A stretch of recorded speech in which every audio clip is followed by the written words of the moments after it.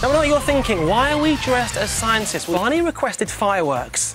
And we're going to Yeah. make that request come true. Well, hang on. We can't actually set off fireworks in the studio. I know No. you're looking. Um, This is better than fireworks. We can invite a good friend of yours to help us have some fun with science. Please welcome Greg Foot, everyone. Hey,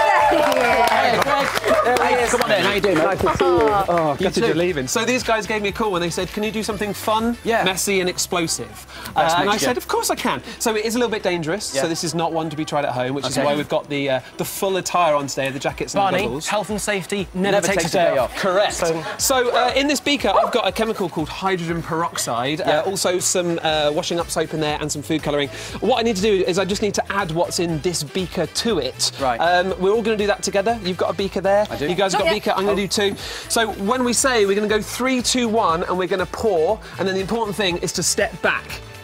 All good? Yeah, Okay. we got it. Should we do Yes. this? Barnes, this is for you. Everyone's Okay. good? Yeah. So three, two, one, pour, step back.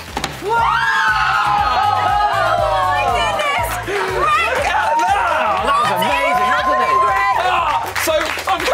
So inside there, hydrogen peroxide. Um, at this it's, it's very unstable. It's only made of two things. It's made of hydrogen and oxygen, and it wants to break apart, um, but it does it very slowly. So I added was something called a catalyst, Right. and that catalyst speeded up the reaction, broke down into water and oxygen. The oxygen got caught in all this foam. and That There's only so one way it could go. Up. It's the coolest thing. So, Greg, thank you so much Give this man a round of applause. Mate, well done. Thank well done.